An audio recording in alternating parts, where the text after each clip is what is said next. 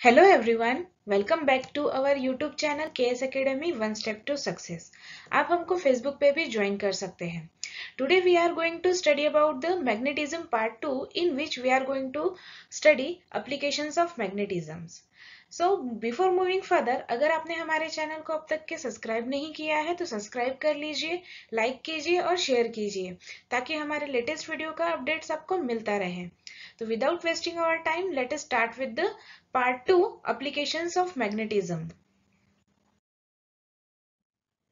magnetism in human being previous part में हमने complete introductory part जो था मैग्नेटिज्म का, वो स्टडी किया था, जिसमें हमने ये स्टडी किया था कि what is magnetism what is magnet magnetic field कैसे तैयार होती है मैग्नेटिक लाइंस क्या होती है? Difference between magnetic field and magnetic line भी हमने स्टडी किया था छोटे छोटे एक्सपेरिमेंट्स किए थे, जिसमें हमने ये भी देखा था कि मैग्नेटिक लाइंस एक दूसरे को क्रॉस नहीं करती हैं, एक दूसरे से सेपरेटेड रहती है but at the end of the pole वो कंबाइन हो जाती है। ऐसे कुछ एक पार्ट्स होते हैं जो छोटे छोटे डेफिनेशंस को हमने कंप्लीटली क्लियर किया है उस पार्ट वन में। तो इस पार्ट के साथ में मैं पार्ट वन का वीडियो का लिंक भी शेयर कर दूँगी। तो मैग्नेटिज्म इन ह्यूमन बींग तो specially the two main organs of human body they are magnetic field produce कौन से मेन ऑर्गन्स है? हार्ट और ब्रेन हमारे बायोलॉजी के जो चैप्टर्स हुए हैं टेंथ के, उसमें भी हमने स्टडी किया है कि जो सिमुलेशन स्टडी किया है। ब्रेन से uh, हमारा सिमुलेशन जाता है हमें। कंट्रोल एंड कोऑर्डिनेशन में हमने कंप्लीट स्टडी की है कि किस तरीके से इलेक्ट्रिक इम्पल्स मूव होते हैं फ्रॉम सेंसर बॉडी से ब्रेन तक के और ब्रेन से रिस्पॉन्स बॉडी तक के किस तरीके से होता है। सो so, वो किस क्यों होता है? वो due to the production of magnetic field a significant amount of magnetic field का प्रोडक्शन होता है प्रोड्यूस होता है हार्ट और ब्रेन के बीच में। तो जो ब्रेन है हमारा वो क्या करेगा कि वो इंट्रोडक्शन देगा या फिर उसको ऑर्डर देगा हमारे हार्ट को और वहाँ से इलेक्ट्रिक इम्पल्स आएँगे और वो हार्ट हमारा जो होगा वो पंप होगा। तो हार्ट किस तरीके से पंप करेगा? हार्ट क्या है? हार्ट का जो फ़ंक्शन है वो भी हमने सारे स्टडी की, कर चुके हैं बायोलॉजी के चैप्टर्स में। So the magnetism produce inside the human body basically हमारे बॉडी के अंदर मैग्नेटिज्म प्रोड्यूस होता है by the flow of ionic current ionic current अब किस तरीके से आयोनिक करंट बिकॉज़ हम लोग लॉट ऑफ़ लिक्विड्स पीते हैं ड्रिंक्स पीते हैं। कोल्ड ड्रिंक्स पीते हैं। सो so, उसमें हम लोग जो हमारा वाटर हम लोग इंटेक कर रहे हैं ड्रिंक कर रहे हैं वाटर को तो हम लोग बोलते हैं कि भाई मिनरल वाटर हमने पी, पीना चाहिए। सो मिनरल वाटर में क्या? हम आयन वाटर ही पी रहे जिसमें आयन्स होते हैं जो हमारे बॉडी के लिए बहुत ज़्यादा इसेंशियल्स होते हैं। So due to the flow of that electrical ions ionic current उसी की वजह से हमारे बॉडी में क्या होता है कि small amount of magnetism produce होता है। From the basis of technique इसी बेसिस ऑफ़ टेक्निक से मैग्नेटिक रेजोनेंस इमेजिन का प्रोडक्शन हुआ है जिसको हम लोग एमआरआई करते हैं, कहते हैं। और एम मीन्स क्या होता है कि हमारे बॉडी के अंदर का स्कैनिंग करते हैं। हम लोग ऊपर ही जो बॉडी होती है, हमारे अंदर में जो ऑर्गन्स होते हैं, उसकी स्टडी करने के लिए हम लोग एमआरआई का यूज़ करते हैं। वो, उसका जो पिक्चर बनता है, वो किसकी वजह से बनता है? मैग्नेटिक रेजोनेंस इमेज की वजह से बनता है। So which is use to obtain यहाँ पे आप देख लीजिए which is use to obtain image or picture of the internal part of the body. It is obvious that magnetism has an important use in medical diagnosis and because. That's why कि इसी technique की वजह से हमारे internal body के organs के images हमको पता चलती है एमआरआई की वजह से। तो ये बहुत ज़्यादा इंपॉर्टेंट है मेडिकल डायग्नोसिस के लिए। Through the MRI scan it is enable to doctor to see the inside body ये बिना बिना चीरफाड़ किए, बिना कटपीट किए बॉडी के अंदर में देख सकते हैं doctor due to the MRI for example MRI can detect the cancerous tissue inside the body of the person अगर किसी पर्सन को कैंसर है या फिर कैंसर डिटेक्ट करना है तो MRI का यूज़ करते हैं। Please note that the magnetism in human body is actually the electromagnetism क्या है ये? एक्चुअली द इलेक्ट्रोमैग्नेटिज्म है ये which is produce by the flow of ionic current inside the human body so ये छोटा सा इंट्रोडक्शन था magnetism in human being human being के अंदर में मैग्नेटिज्म कैसे होता है और क्यों होता है? Due to the flow of ionic current ये हमेशा हमें याद रखना है।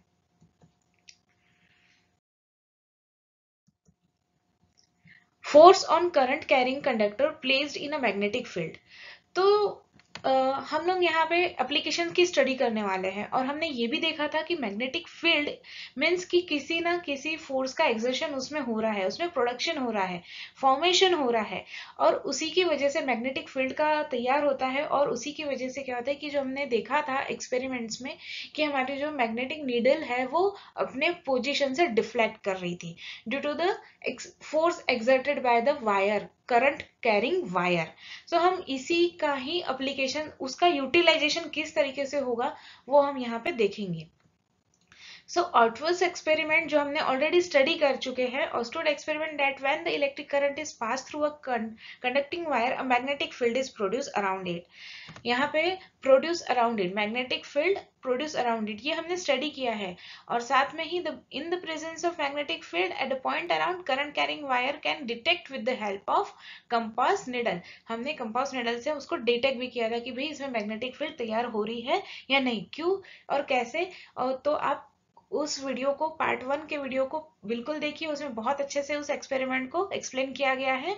और साथ में मैं उस वीडियो का लिंक यहाँ पे शेयर भी कर दूँगी ताकि आपको अच्छे से समझ में आए। तो हम यहाँ पे एक और एक्टिविटी लेने वाले हैं जिसमें हम एक्चुअली अप्लीकेशन किस तरीके से हम लोग मैग्नेटिक फ़ील्ड का करने वाले हैं मैग्नेटिज्म जो प्रोड्यूस होने वाला है वायर में उसका यूज़ कैसे करने वाले हैं वो इस एक्सपेरिमेंट से हम स्टडी करेंगे। सो so, उसके लिए हमको क्या करना है? द कीकिंग वायर एक्सपेरिमेंट हम इस एक्सपेरिमेंट को क्या कहते हैं? The kicking wire experiment. It mean right कि एक वायर लटका होता है और वो किक इट मीन्स हम उसको कोई धक्का दे रहा है और वो अपनी पोजिशन से हल रहा है। तो इसलिए इसी एक्सपेरिमेंट का नाम दिया है the kicking wire experiment so so, उसके लिए हमको एक हैंगिंग uh, के लिए कुछ चाहिए होगा जिसमें हम वायर को लटका सके। सो so, हमने यहाँ पे ले लिया और वायर को लटका दिया। जैसे हम झूला लटकाते हैं उसी तरीके से वायर को लटकाना है। सो so, यहाँ पे हमने एक प्लेट ले ली है उसके साथ में वायर के साथ में अटैच कर लिया और उस प्लेट में हमको क्या करना है? मर्क्यूरी लेना है। सो so, अब हमको क्या करना है? इसको बैटरी के साथ में कनेक्ट करना है। तो बैटरी ले लेंगे हम लोग। स्विच ऑब्वियसली हमको स्विच की तो ज़रूरत होगी ही होगी।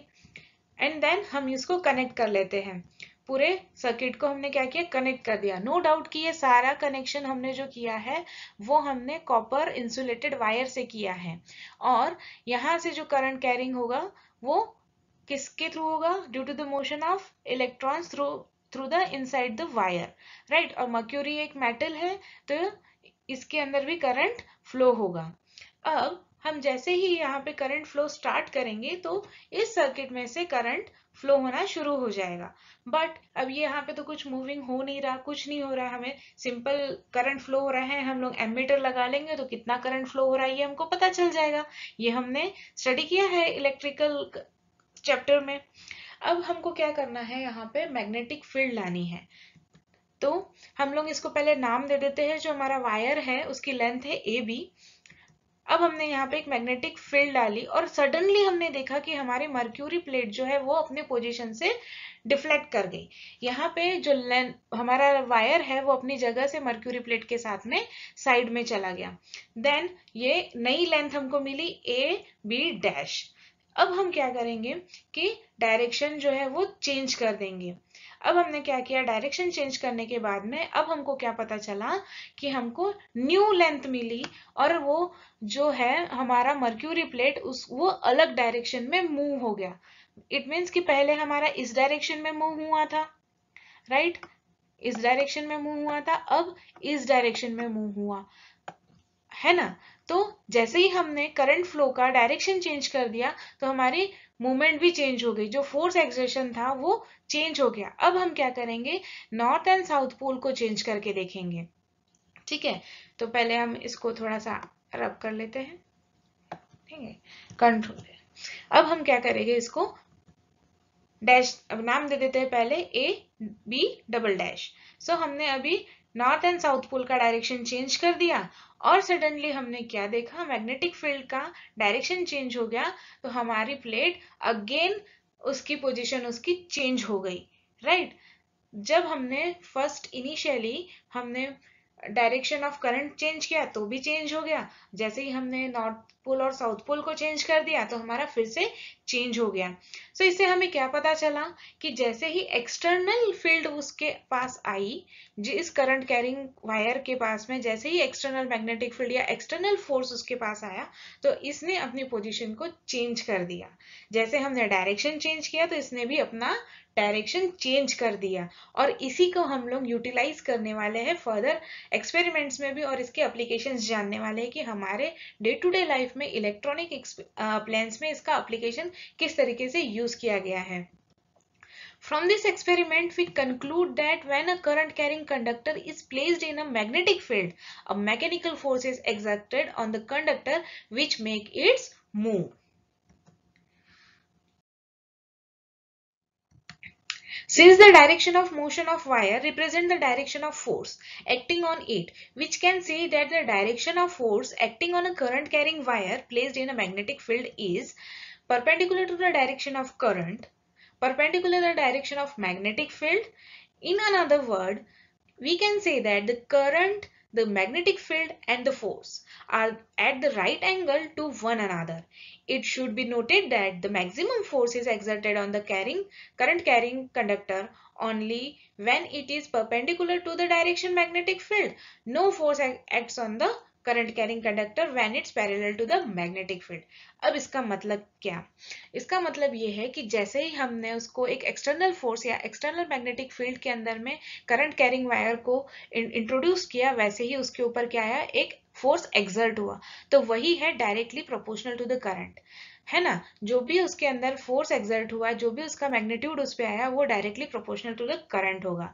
Direction of the current current का डायरेक्शन चेंज हुआ तो भी उसका भी डायरेक्शन चेंज हो जाएगा। Right and then perpendicular to the direction of magnetic field it mean that कि मैग्नेटिक फ़ील्ड से भी वो डायरेक्टली प्रोपोर्शनल है क्योंकि हमने जब मैग्नेटिक फ़ील्ड का डायरेक्शन चेंज किया तो हमारे डायरेक्शन भी चेंज हो गया। जो मैग्नेटिक uh, फ़ील्ड उसके ऊपर एक्सर्ट कर रही थी फोर्स का जो डायरेक्शन था वो भी चेंज हो गया और साथ में ही यहाँ पे ये बता रहे हैं कि परपेंडिकुलर टू द डायरेक्शन फिर no force act on the current carrying conductor जो करंट कैरिंग कंडक्टर है, उसके ऊपर कोई भी फोर्स नहीं है। When it is parallel to the magnetic field जब अगर वो मैग्नेटिक फ़ील्ड के साथ में पैरेलल हो जाएगा, तब उसके ऊपर कोई भी फोर्स एग्जर्ट नहीं होगा।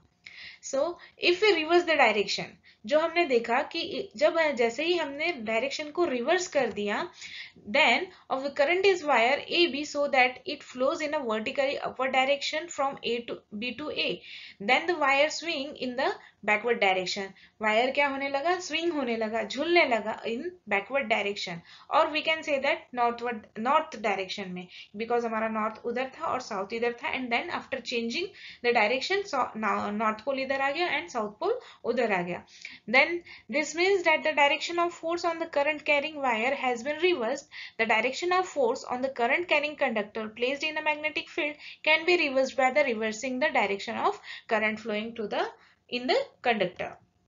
So, keep the direction of current unchanged.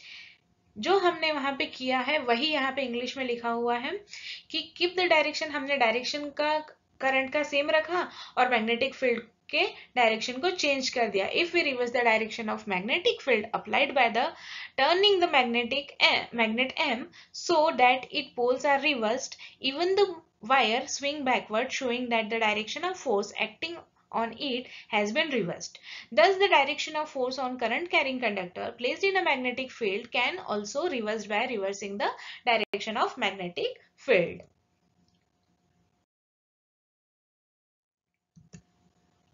Fleming's left hand rule for the direction of force अब हमने ये तो देख लिया था कि भाई जैसे हमने मैग्नेटिक फील्ड को चेंज किया मैग्नेटिक फ़ील्ड का डायरेक्शन चेंज किया करंट का डायरेक्शन चेंज किया तो हमारा वायर जो स्विंग हो रहा था, उसका भी डायरेक्शन चेंज हो गया। अब हमें ये कैसे पता चलेगा कि इसका डायरेक्शन कौन सा है?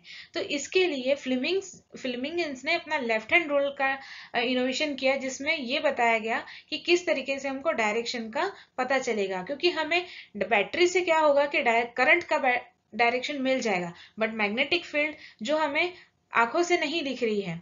वो उसका डायरेक्शन कैसे पता चलेगा? और जो हमारा मूवमेंट हो रहा है जो प्लेस डिस्प्लेस हो रही है हमारी मर्क्यूरी प्लेट की जो हुई थी वो किस तरीके से उसका डायरेक्शन होगा और कौन से डायरेक्शन में होगा? क्योंकि वो तो चारों डायरेक्शन में से कोई भी डायरेक्शन में हो सकता है। तो हम कैसे पता करेंगे कि उसका डायरेक्शन क्या है? सो so, उसी के लिए हम लोग तीनों केसेस के लिए जो है यहाँ पे स्टडी करेंगे। सो so, पहले हम देख लेते हैं कि फ्लिमिंग लेफ़्ट हैंड रूल क्या कहता है।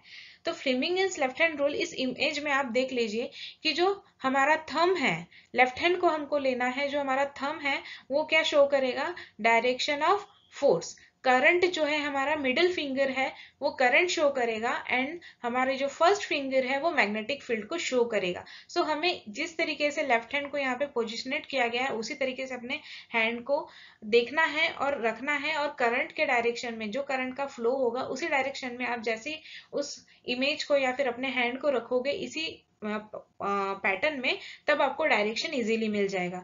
सो so, अगर हमारा करंट डाउनवर्ड डायरेक्शन में है तो मैग्नेटिक फ़ील्ड हमारा इस डायरेक्शन में होगा और फोर्स जो है हमारा साउथ डायरेक्शन में होगा।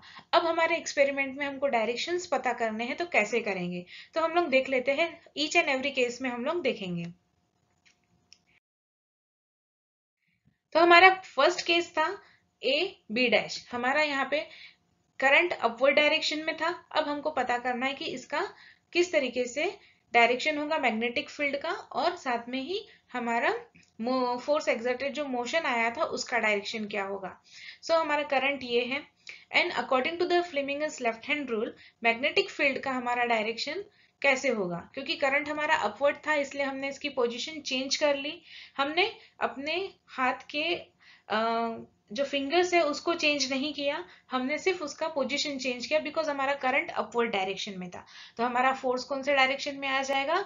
इस डायरेक्शन में और मैग्नेटिक फ़ील्ड इस डायरेक्शन में। तो हम इसको ड्रॉ कर लेते हैं। तो ये हो गया हमारा direction of each and every magnetic field current and force of motion अब हमारी सेकेंड केस देख लेते हैं। सेकेंड केस में क्या हुआ था? हमने देखा था कि जब से ही हमने रिवर्स किया था हमारे डायरेक्शन को तो हमारी प्लेट जो हुई थी अपने पोजीशन से दूसरे पोजीशन में चली गई थी। तो यहाँ पे ए बी डबल डैश से हमने उसको शो किया है। सो so, इसी को हम लोग क्या करेंगे? चेंज करेंगे। सो so, हमने क्या किया? अभी हमारा डायरेक्शन डाउनवर्ड डायरेक्शन में था करंट यहाँ पे हमने इसको चेंज कर दिया। डाउनवर्ड डायरेक्शन में किया तो हमें मिल गया हमारा मैग्नेटिक फ़ील्ड एंड देन ये हो गया हमारा कौन सा मोशन बिकॉज़ हमारा फोर्स ऑफ़ मोशन जो है यहाँ इस साइड में जा रहा है एंड हमारी मैग्नेटिक फ़ील्ड कुछ इस तरीके से है। ठीक है? देन हमारी थर्ड केस थी जो जैसे ही हमने हमारे पोल को चेंज कर दिया था। नॉर्थ साउथ पोल था हमारे पास में और हमने उसको इंटरचेंज कर दिया था। सो so, ये है हमारा फ्लेमिंगन्स लेफ़्ट हैंड रूल ये जरा इमेज इसी का हमने इमेज पिक्चर लिया है बिकॉज़ हमारा डायरेक्शन किसका चेंज हुआ है? मैग्नेटिक फ़ील्ड का। अब मैग्नेटिक फ़ील्ड हमारी इस डायरेक्शन में अब तक हमारी मैग्नेटिक फ़ील्ड जो थी इस डायरेक्शन में थी हमारे इस डायरेक्शन में ईस्ट। अब हमारी हो गई है वो साउथ डायरेक्शन में। सो so, ये हो गया हमारा करंट ये हो गया हमारा मैग्नेटिक फ़ील्ड और ये हो गया हमारा motion force of motion. Right? The electric motor. अब the electric motor what is it mean by कुछ एग्जाम्पल्स हम लोग देख लेते हैं। इलेक्ट्रिक मोटर जो हमारे डे टू डे लाइफ में हमने देखा है कि जो हमारे घर के अंदर पंप होते हैं, पानी टंकी तक ले जाने के लिए, उसे ही हम लोग इलेक्ट्रिक मोटर लेते हैं। तो इलेक्ट्रिक मोटर सिर्फ़ पंप में ही यूज़ नहीं होते, बहुत सारे इसके एप्लीकेशन होते हैं अलग अलग जगह पे इसका यूज़ किया जाता है। तो कौन से कौन से इलेक्ट्रिक मोटर्स होते हैं, हम देख लेते हैं। फ़ैन में जो होते हैं, हम लोग जो कुछ एक्सपेरिमेंट्स करते हैं, छोटे जो साइंस एग्जीबिशन होते हैं, उसमें छोटे से ये इलेक्ट्रिक मोटर्स लगाते हैं, जिसमें फैंस लगे होते हैं। सेम हमारा जो फ़ैन होता है उसमें भी इलेक्ट्रिक मोटर्स लगे रहते हैं ये हमारा शाफ्ट होता है इस शाफ्ट के पास ही हमारे सारे फैंस के ब्लेड्स लगे होते हैं सो so, इसलिए हमारा फ़ैन रोटेड होता है। वॉशिंग मशीन है वॉशिंग मशीन में भी रोटेट होता है राइट तो इसमें भी इलेक्ट्रिक मोटर का एप्लीकेशन है। मिक्सर uh, ग्राइंडर हमारे घर में हमने देखा है कि रोटेट होती है राइट तो मिक्सिंग होती है वहाँ पे ग्राइंडिंग होती है तो इसमें भी इलेक्ट्रिक मोटर है। देन कार जो इलेक्ट्रिक कार्स होते हैं बेसिकली जो यहाँ पे हमारे व्हील्स होते हैं कार के, इसके पास में इलेक्ट्रिक मोटर्स का यूटिलाइजेशन होता है for rotation of the wheels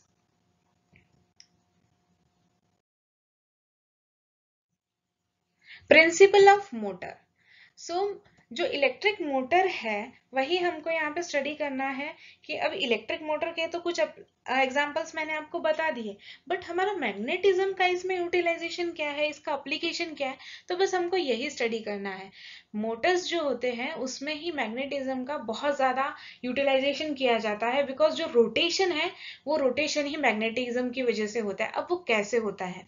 तो पहले हम उसका प्रिंसिपल देख लेते हैं। A motor works on the principle that when a rectangular coil is placed in a magnetic field क्या कह रहा है? प्रिंसिपल कि जब एक रेक्टेंगुलर कॉइल मैग्नेटिक फ़ील्ड में हम रखते हैं और उसमें से जब करंट पास करते हैं current is pass through it a force acts on a coil which can rotate is continuously और उसी की वजह से क्या होता है कि वो कंटिन्यूसली रोटेट होता है। अब भाई हमको इसका अप्लीकेशन कैसे पता चलेगा कि भाई इसमें मैग्नेटिज्म का अप्लीकेशन कैसे आया? हमने देखा था हमारे प्रीवियस एक्सपेरिमेंट्स में कि जब हमने एक मर्क्यूरी प्लेट को फ्रीली सस्पेंडेड रॉड के साथ में वायर के साथ में जब उसको लटका दिया था और मैग्नेटिक फ़ील्ड और करंट उसमें से जब पास किया था तो मैग्नेटिक फ़ील्ड के अंदर जैसे ही वो आया उसमें क्या हुआ था कि उसने डिफ्लेक्शन शो किया। जैसे डायरेक्शन चेंज हुआ उसका डिफ्लेक्शन भी चेंज हो गया।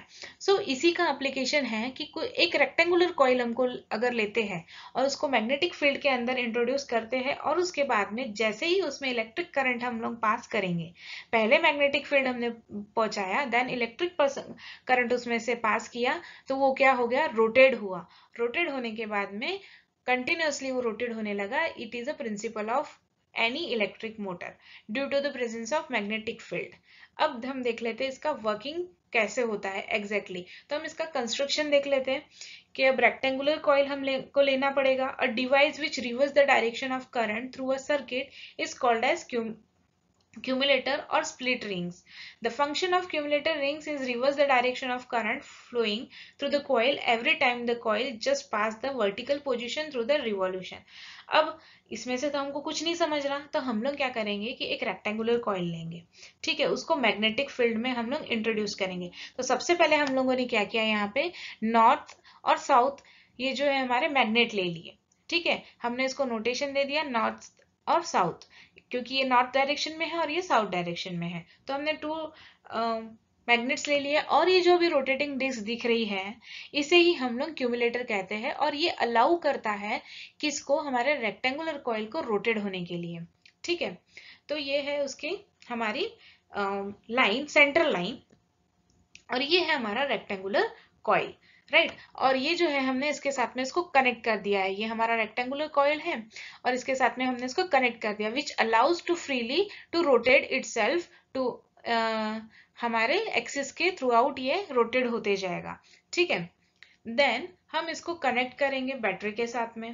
तो हमने बैटरी के साथ में इसको कनेक्ट कर दिया और जैसे ही इसमें से करंट कंडक्शन शुरू हो गया तो ये क्या हो गया? रोटेड होने लग गई।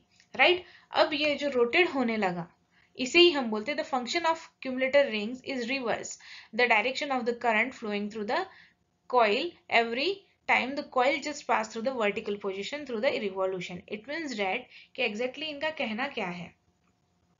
तो पहले हम लोग इसके डायरेक्शंस देख लेते कि मैग्नेटिक फ़ील्ड का डायरेक्शन क्या होगा करंट का डायरेक्शन और फोर्स का मोशन का डायरेक्शन सो so, हमारा करंट तो इस फ्लो में जाएगा बिकॉज़ पॉजिटिव डायरेक्शन से हमारा करंट जाता है.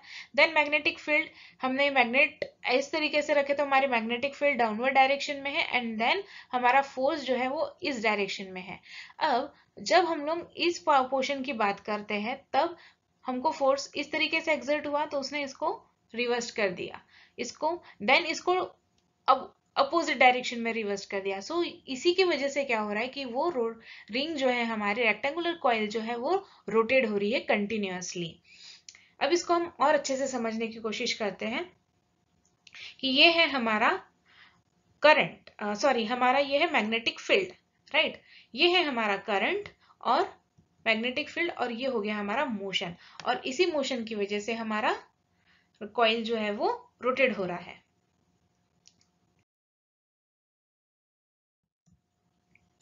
So we have just described the construction and working principle of electric motor in commercial motors. The coil is wounded on the soft iron core. The soft iron core becomes magnetized and increase the strength of magnetic field. This makes the motor more powerful. The assembly of soft iron core and coil is called as armature. So the coil contains a large number of turns of the insulated copper wire. A powerful electromagnet is used in a place of paramagnet all these features together helps in increase the power of commercial electric motor ये क्या कह रहे हैं हमने experiment में क्या किया था हमने दो अलग मैग्नेट लिए थे एक साउथ और एक नॉर्थ पोल का मैग्नेट लिए थे तो हमने हमारे प्रीवियस चैप्टर में मतलब पार्ट में जो हमारा चैप्टर था, उसके इंट्रोडक्टरी पार्ट में ये भी देखा था, जितनी number of coil soft iron की हम लोग ऊंड करेंगे कॉपर वायर से तो हमको क्या मिलेगा? सॉफ्ट आयरन कोर को हम जब नंबर ऑफ़ कॉइल से जो हमारा कॉपर कॉइल है, उसे ऊंड करेंगे, उसको उसके ऊपर रोटेट करेंगे तो उसकी मैग्नेटिज्म की इलेक्ट्रोमैग्नेटिक पावर जो है वो बढ़ जाएगी ये डायरेक्टली प्रोपोर्शनल रहेगी। सो so, उसी को हम लोग क्या करेंगे? इन प्लेस ऑफ़ मैग्नेट हम लोग क्या करने वाले हैं? सॉफ्ट आयरन कोर को यूज़ करने वाले जिसको हमने रोट किससे वुंड किया हुआ है? कॉइल से कॉपर कॉइल से किया हुआ है। जितनी नंबर ऑफ़ कॉपर कॉइल रहेगी, उतना ज़्यादा उसके अंदर मैग्नेटिक फ़ील्ड जनरेट होगा और उतना स्ट्रांग वो मैग्नेट बनेगा। टेम्पररी मैग्नेट बनेगा बट स्ट्रांग मैग्नेट बनेगा। इंसुलेटेड कॉपर वायर से ही हम उसको वुंड करेंगे। A powerful electromagnet is use in place of paramagnet इसी के जगह हम लोग क्या करने वाले पैरामैग्नेट की जगह पे हम लोग मोटर्स में इलेक्ट्रिक मोटर्स में क्या यूज़ करते हैं? इसी कॉइल का यूज़ करते हैं, इस पावरफुल इलेक्ट्रोमैग्नेट का यूज़ करते हैं। हम मैग्नेट का डायरेक्टली यूज़ नहीं करते। अगर हमने मैग्नेट यूज़ किया रहता तो सारे के सारे मेटल्स हमारे पूरे पंखे पे चिपक जाते।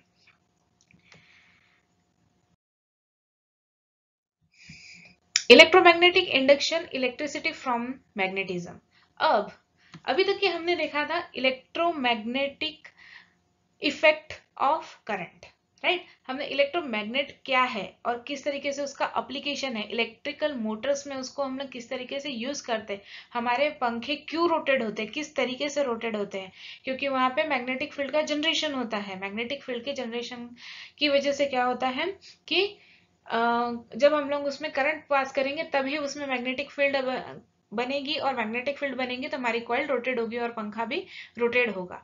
ये है हमारा इलेक्ट्रोमैग्नेट अब इलेक्ट्रोमैग्नेटिक इंडक्शन क्या है?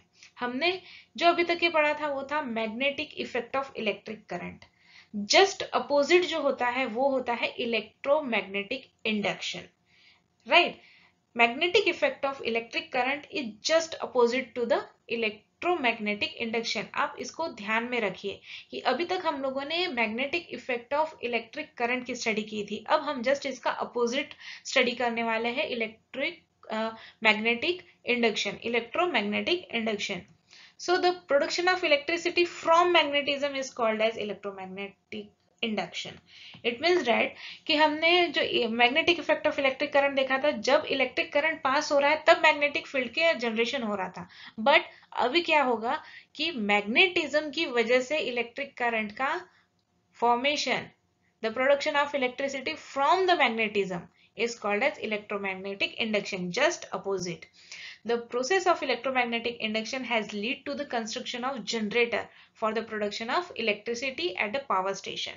इसका ही यूज़ किसमें किया जाता है इलेक्ट्रिसिटी जनरेशन का यूज़ किया जाता है in generator electro power station जो रहती है इलेक्ट्रिसिटी पावर जनरेशन के लिए जो पावर स्टेशन होते हैं उसमें जनरेटर में इसका इस एप्लीकेशन का यूज़ किया जाता है a galvanometer is an instrument which can detect the presence of electric current in a circuit electric current जो होता है एक सर्किट में उसको प्रेजेंस को पता करने के लिए गैल्वानोमीटर का यूटिलाइजेशन किया जाता है A demonstrate electromagnetic induction by using a straight wire and a horseshoe type magnet. अब जैसे कि मैंने आपको पहले भी बताया कि हर एक चीज़ को समझने के लिए हमको एक छोटी छोटी एक्टिविटीज़ को स्टडी करना होगा छोटे छोटे एक्सपेरिमेंट्स को करके देखना होगा क्योंकि कंप्लीट चैप्टर जो है हमारा पूरा थेरोटिकल बेस है। हम जब तक इसको एक्सपेरिमेंट नहीं करेंगे तब तक हमको कुछ समझ में नहीं आएगा। इसलिए हर एक चीज़ को एक्सप्लेन करने के लिए मैंने भी यहाँ पे हर एक एक्टिविटी को यहाँ पे इंट्रोड्यूस किया है और आपको एक्सप्लेन करने की कोशिश की है। सो so, तो अभी इलेक्ट्रिक इलेक्ट्रोमैग्नेटिक इंडिक्शन किस तरीके से होता है उसके लिए हम बाय यूजिंग स्ट्रेट वायर और हर्शो मैग्नेट से हम इसको स्टडी करेंगे। सो so, यहाँ पे हमने क्या किया दो मैग्नेट ले लिए पैरा मैग्नेट्स ठीक है? एक हमारा साउथ अब हमेशा हम इसको नाम नहीं देंगे एक रेड जो है हमारा नॉर्थ है और जो ब्लू है हमारा साउथ है तो नॉर्थ एंड साउथ पोल इस तरीके से हमने दो मैग्नेट लिए, एक गैल्वानोमीटर लिया और एक स्क्वायर कॉइल ले लिया। राइट स्ट्रेट हमारे वायर है ये, उसको हमने कनेक्ट कर दिया किसके साथ में? गैल्वानोमीटर के साथ में। अब क्या करेंगे हमने, यहाँ पे कोई करंट है यहाँ पे फ्लो नहीं कर रहे हैं हम लोग। अब क्या करेंगे हम लोग कि इसको सडनली मैग्नेटिक फ़ील्ड के अंदर इंट्रोड्यूस करेंगे। तो आपने यहाँ पे देखा कि हमारे गैल्वानोमीटर में कुछ तो भी रीडिंग यहाँ पे शो हुई। It will move from zero to positive direction right तो इस इट मीन्स डेट कि जैसे ही हमने एक वायर को हमने मैग्नेटिक फ़ील्ड में इंट्रोड्यूस किया तो क्या हुआ? उसमें से करंट फ्लो होना स्टार्ट हो गया। सिमिलरली जब हमने उसको अपोजिट डायरेक्शन में लेके गए तो हमारा जो गैल्वानोमीटर है, उसने अपोजिट डायरेक्शन में अपना मोशन दिखाया निगेटिव डायरेक्शन में। जैसे ही हमने उसको नीचे से ऊपर से लेके गए, तब क्या हुआ कि उसमें डायरेक्शन जो है हमारी चेंज हो गई और इसने कुछ करंट इसमें से फ्लो हुआ और वो यहाँ पे इंडिकेट करने लगा। मतलब हमारे गैल्वानोमीटर ने क्या बताया यहाँ पे कि उसमें से कुछ तो भी इलेक्ट्रिकल करंट जो है फ्लो हो रहा है due to the presence of magnetic magnets और मैग्नेटिक फ़ील्ड अराउंड इट जैसे ही हमने सिंपल वायर को मैग्नेटिक फ़ील्ड में लाया तो क्या हुआ उसमें करंट फ्लो होना शुरू हो गया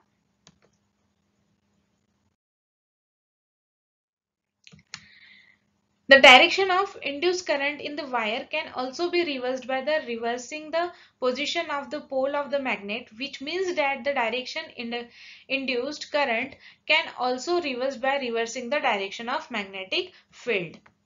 The movement of wire in a magnetic field can produce electric current. So we can generate electricity by moving a wire continuously in a magnetic field between the poles of a magnet. This principle is used in a producing electricity through the generator. A generator using in a movement or rotation of a rectangular coil of wire between the poles of horseshoe magnet to produce a electric current or electricity. Thus, the phenomena of electromagnetic induction is used in the production of electricity by a generator. तो इनका क्या कहना है कि इसी principle का use करते हैं हम लोग जनरेटर में कि जब मूविंग किसका मैग्नेट जो है हमारे परमानेंट है बट जो वायर है हम जब मैग्नेटिक फ़ील्ड में हम मूव करेंगे क्या करेंगे उसको मूव करेंगे तब उसमें से इलेक्ट्रिसिटी क्या होगी प्रोड्यूस होगी और जनरेट होगी In above experiment, we have seen that when a wire is moved between the poles, जब हमने वायर को मूव किया था in between the poles of fix magnet fix magnet में हमने पोल को पोल्स uh, जो थे हमारे वो फिक्स थे और हमने वायर को क्या किया था? मूव किया था. Then the electric current is produce in the wire the reverse of the this is also true reverse जैसे ही हमने उसको रिवर्स किया था मतलब जैसे पहले अंदर इंट्रोड्यूस किया था और बाहर निकाला था तो उसमें से इलेक्ट्रिक करंट का भी फ्लो रिवर्स्ड हो गया था.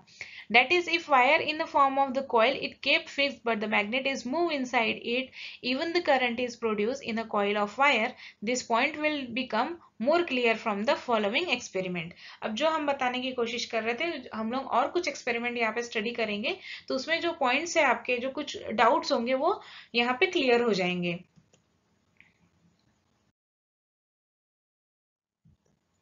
To demonstrate the electromagnetic induction by using a coil and a bar magnet. अब हम लोग यहाँ पे क्या करने वाले हैं? एक्सपेरिमेंट करने वाले हैं इलेक्ट्रोमैग्नेटिक इंडक्शन का जिसमें हम कॉइल का यूज़ करेंगे और बार मैग्नेट का यूज़ करेंगे।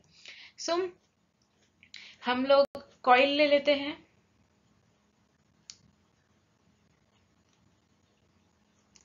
जितनी नंबर ऑफ़ कॉइल रहेगी उतना ज़्यादा यहाँ पे इलेक्ट्रिक करंट प्रोड्यूस होगा और जितनी स्ट्रॉन्ग मैग्नेट होगा उतना ही ज़्यादा हमारा इलेक्ट्रिसिटी का प्रोडक्शन होगा।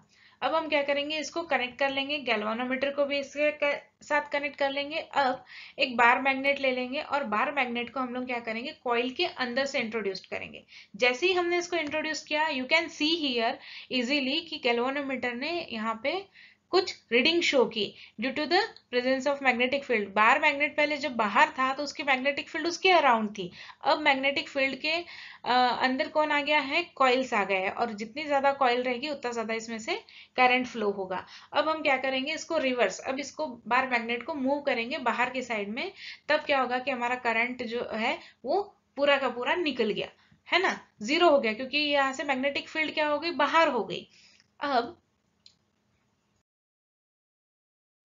The production of electric current by moving a magnet inside a fixed coil of wire is also the case of magnet electromagnetic induction.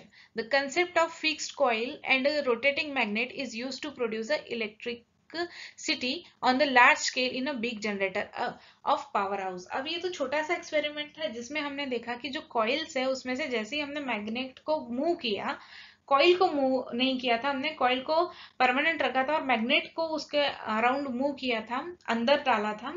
And magnetic field क्या हो रही थी? उसके अंदर से बाहर जाना आना कर रही थी। तो उसमें से क्या हो गया कि करंट फ्लो होना स्टार्ट हो गया और इसी का इसी को अगर हम लोग बिग लेवल पे यूज़ करते हैं, किसमें? जनरेटर बिग जनरेटर्स में पावर हाउसेस में।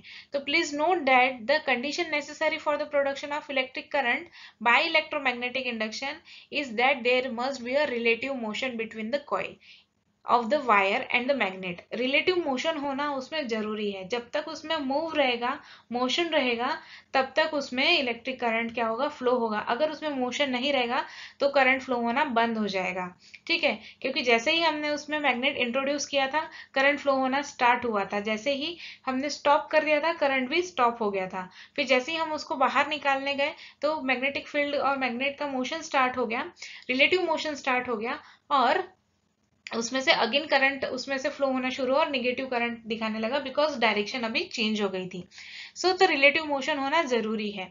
After performing a large number of experiments Faraday and the Henry's made the following observation about the electromagnetic induction Faraday और हेनरी जो हमारे साइंटिस्ट हैं, उन्होंने बहुत नंबर ऑफ़ एक्सपेरिमेंट्स किए। उसके अकॉर्डिंग कुछ अजम्पन्स और कुछ ऑब्जर्वेशंस उन्होंने देखे और ऑब्जर्वेशन को नोट डाउन किया। A current is induced in a coil when it's move or rotate relative to the fix magnet current तभी प्रोड्यूस होगा जब एक फिक्स मैग्नेट के आजू बाजू से वायर जो है वो मूव होगा। तभी करंट फ्लो होगा। A current is also induced in a fixed coil current तब भी मूव होगा जब फिक्स्ड रहेगी कॉइल और मैग्नेट मूव करेगा। एक तो मैग्नेट मूव करना चाहिए या तो वायर मूव करना चाहिए।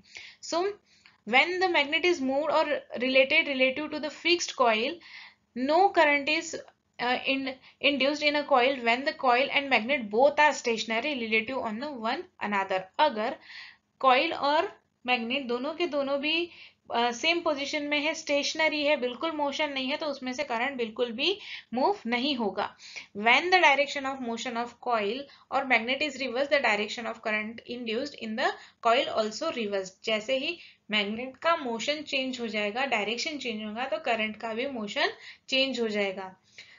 The magnitude of current induce in a coil can be increase हम मैग्नेट्यूड जो है कॉइल के अंदर का वो यूज़ इंड्यूस जो होता है, उसको इंक्रीज कर सकते हैं। किस वजह से और किस तरीके से हम लोग कर सकते हैं? By winding the coil on a soft iron core इसका मतलब कि जब सॉफ्ट आयरन कोर है, उसके ऊपर हम लोग जब कॉइल को वाइंड करेंगे रोटेट करेंगे तो नंबर ऑफ़ कॉइलिंग को जब हम बढ़ा देंगे तो उसमें का मैग्नेट्यूड भी, जो मैग्नेटिज्म का मैग्नेट्यूड है, वो भी बढ़ जाएगा।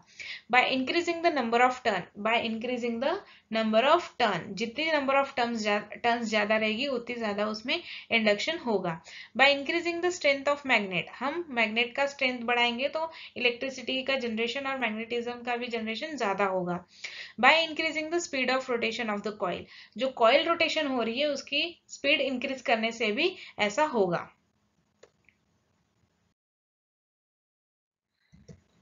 Fleming right hand rule for the direction of induce current अब करंट किस तरीके से इंड्यूस होगा उसके लिए फ्लिमिंग राइट हैंड रूल है। क्योंकि यहाँ पे हमको करंट का मोशन नहीं पता बट हमको ये पता है कि हम मोशन uh, कौन से साइड में दे रहे हैं। हम जस्ट रिवर्स यहाँ पे यूज़ कर रहे हैं। पहले जब हमने इलेक्ट्रिक करंट को और फ्लो किया था और मैग्नेटिक फ़ील्ड के अंदर लाया था कॉइल को तो कॉइल का एक डायरेक्शन मिल रहा था। कॉइल को डायरेक्शन मिल रहा था मूव होने के लिए। अब हम क्या करने वाले मोशन हम देने वाले हैं और उसी की वजह से मैग्नेटिक फ़ील्ड और करंट का डायरेक्शन हम लोग पता करने वाले हैं। So Fleming's right hand rule कुछ इस तरीके से होता है। अपना राइट हैंड को पोजिशनेट कीजिए और इस तरीके से कीजिए। तो इसमें हमारा जो मिडिल फिंगर है, हमेशा याद रखना, हमने मिडिल फिंगर से हमेशा करंट को ही हमने डोनेट डिनोट किया है। Then motion of magnetic field is shown by the first finger and direction of motion is shown by the थम हम जो मोशन देने वाले हैं, उस डायरेक्शन को हम लोग थम से बताएँगे डिनोट करेंगे। सो so, ये हो गया हमारा डायरेक्शन ऑफ़ मोशन ये हो गया हमारा डायरेक्शन ऑफ़ मैग्नेटिक फ़ील्ड और ये हो गया हमारा डायरेक्शन ऑफ़ करंट सो जैसे ही हमने इसका रिवर्स किया तो ये हो गया हमारा डायरेक्शन ऑफ़ मोशन ये हो गया हमारा डायरेक्शन ऑफ़ मैग्नेटिक फ़ील्ड और ये हो गई हमारी डायरेक्शन ऑफ़ करंट तो यहाँ पे आप देख सकते हैं पिक्चर में भी बहुत ही अच्छे से कि ये हमारा डायरेक्शन ऑफ़ करंट है ये हमारा डायरेक्शन ऑफ़ मैग्नेटिक फ़ील्ड है और ये हमारा डायरेक्शन ऑफ़ मोशन है।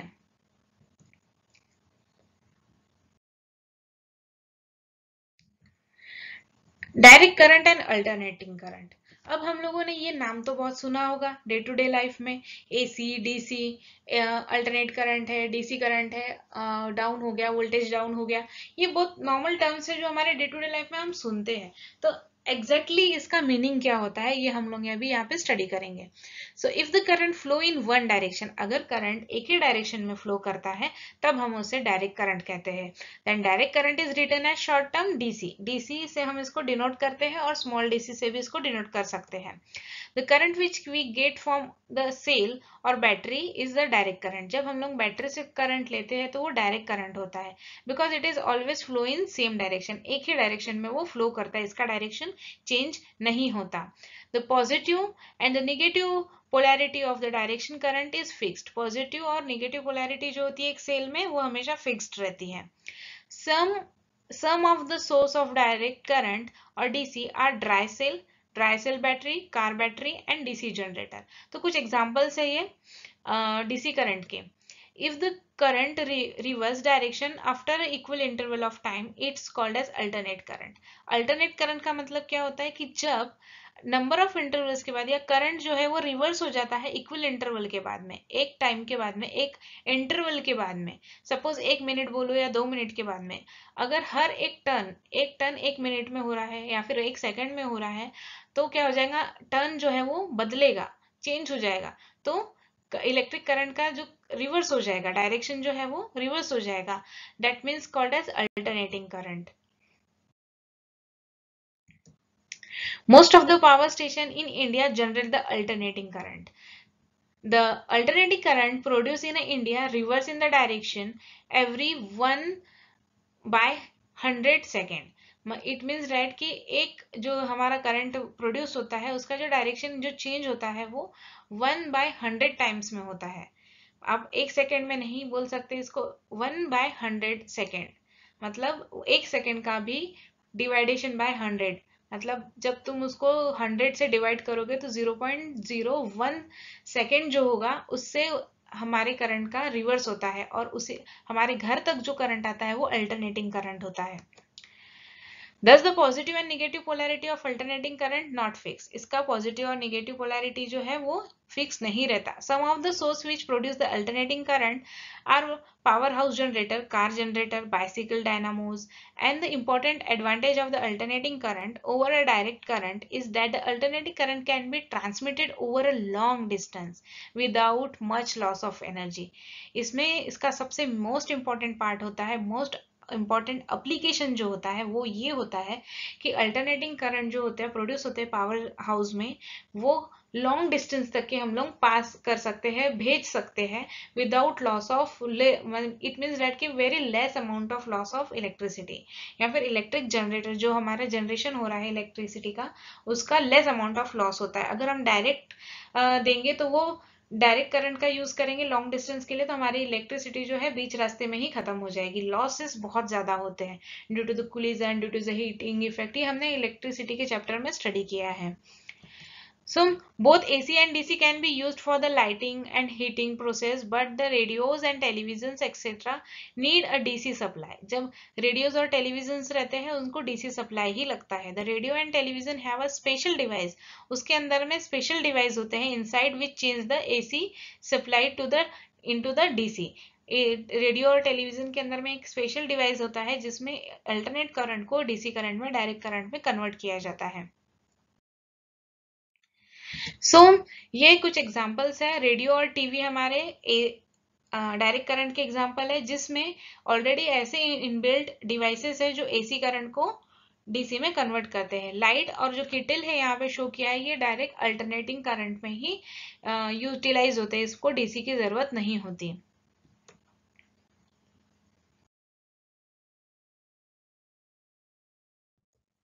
So thank you for listening our lecture यहाँ पे हमने कुछ अप्लीकेशन की स्टडी की जिसमें हमने ये देखा इलेक्ट्रोमैग्नेटिक इंडक्शन क्या है?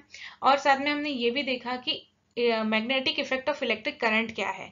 जो प्रीवियस चैप्टर में हम लोग इंट्रोडक्टरी पार्ट पूरा इंट्रोडक्शन कंप्लीट किया था, इस चैप्टर में हमने एप्लीकेशन को कवर करने की कोशिश की है। अगर आपको कोई भी क्वेरीज हो, कोई भी डाउट्स हो इस लेक्चर के रिगार्डिंग या फिर हमारे प्रीवियस लेक्चर के रिगार्डिंग तो भी आप हमको इस, इसके जो कमेंट्स है सजेशंस है क्वेरीज है, इस वीडियो के कमेंट बॉक्स में कमेंट कर सकते हैं। अगर आपको हमारा लेक्चर ये पसंद आया तो लाइक कीजिए शेयर कीजिए और सब्सक्राइब कीजिए हमारे चैनल के लिए। तब तक के लिए घर में सेफ़ रहिए स्टडी कीजिए और इंजॉय कीजिए।